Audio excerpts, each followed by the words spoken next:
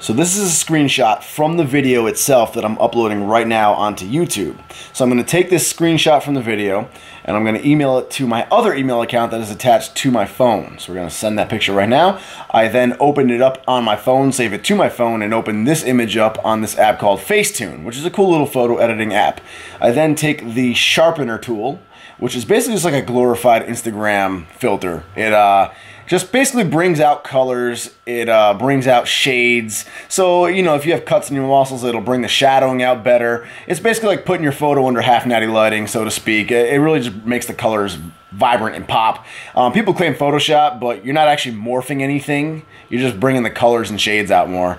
And then I add the little black edges around the photo, and then I also brighten the photo up a little bit so it's eye-catching.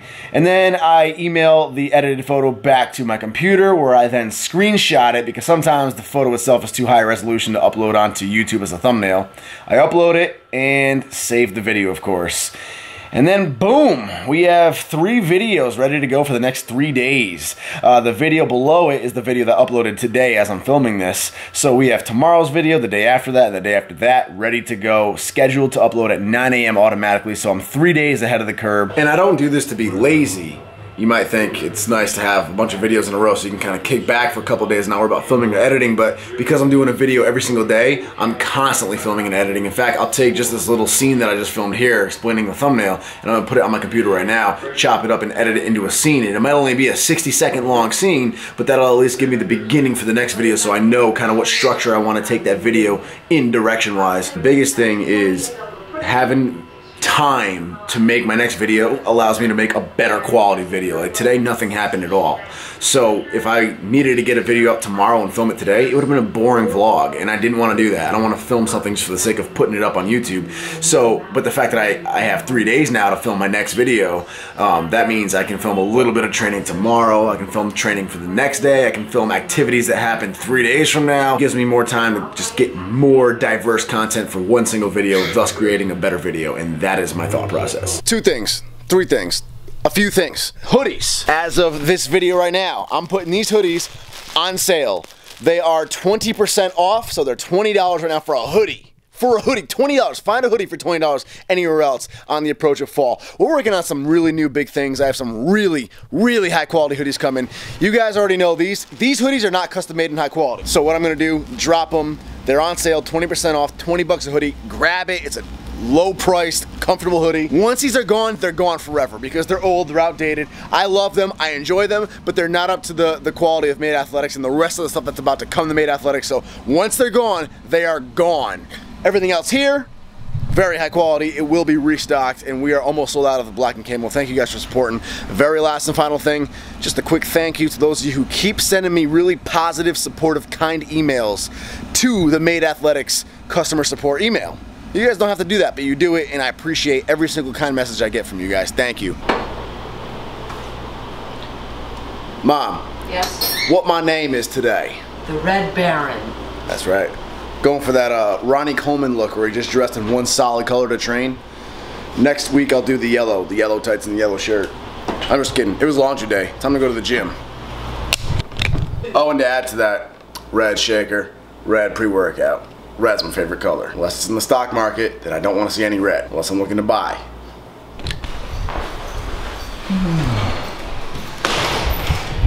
What's up, man? Oh, Nicholas. Oh, I love you. I need your help today, though. Thanks for saving my rack. So the the primary reason I'm not working today, Holy shit, dude.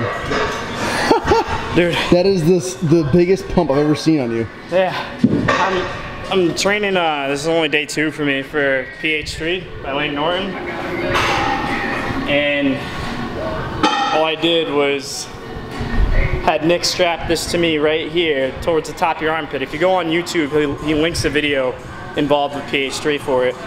And what you're Occlusion doing, it's not occlusion training because you don't want to cut off the artery. What you're doing is you're trying to just limit blood flow so that blood gets trapped in the muscle. It's wor This is literally the in person. This is the biggest one I've ever seen you have.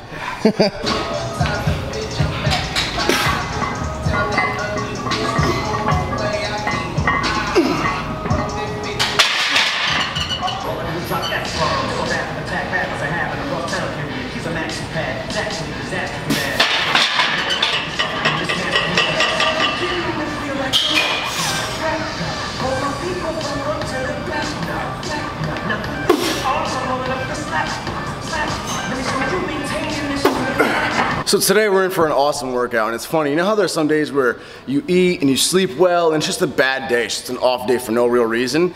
Uh, well, in turn, you also have some days where you do everything, set yourself up for a bad day, and you end up having a great day for no reason at all. And that was today.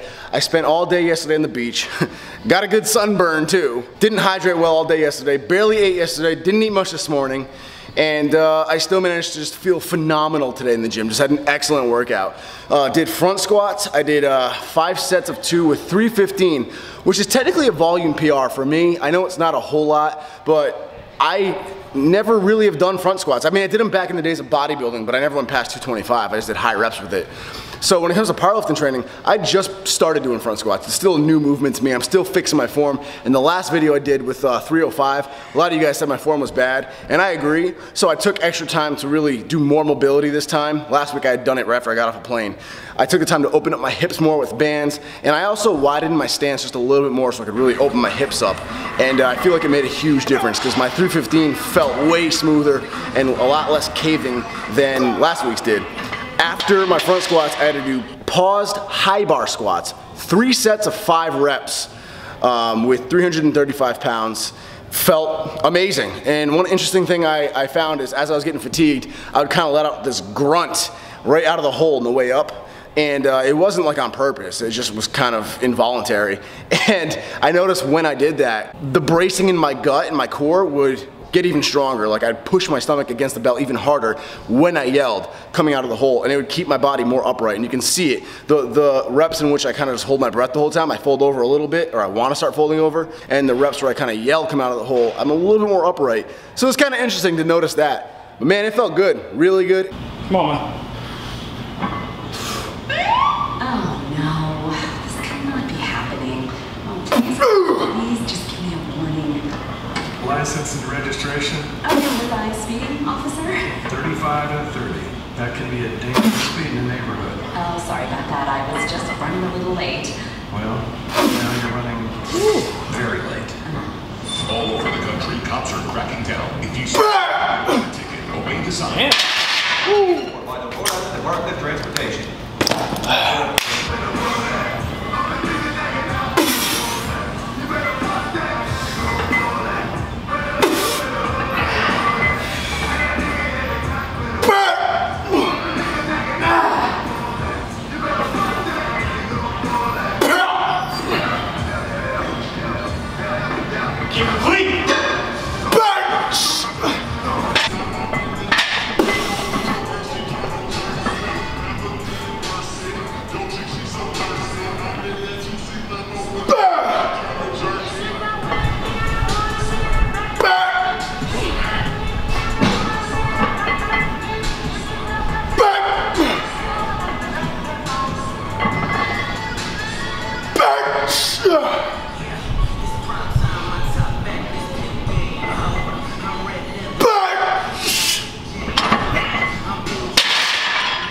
Later on this week, I'll be doing my heavy low bar squats with a very special guest. I am more excited, I think, than I ever have been for this training partner to be here.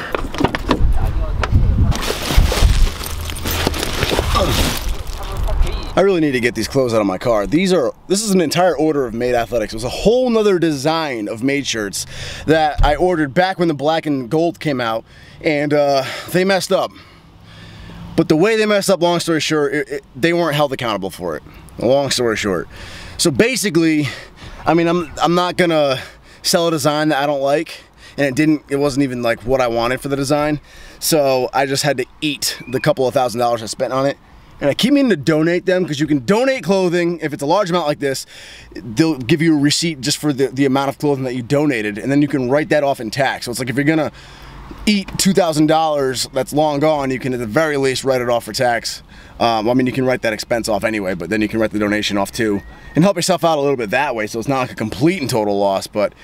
I just completely keep forgetting to do it, and uh, it is cluttering up my car. These, oh, these are your orders for this morning that I gotta take to the post office. Can't thank you guys enough for supporting Made.